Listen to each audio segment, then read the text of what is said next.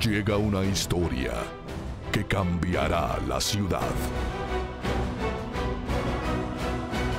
Próximamente.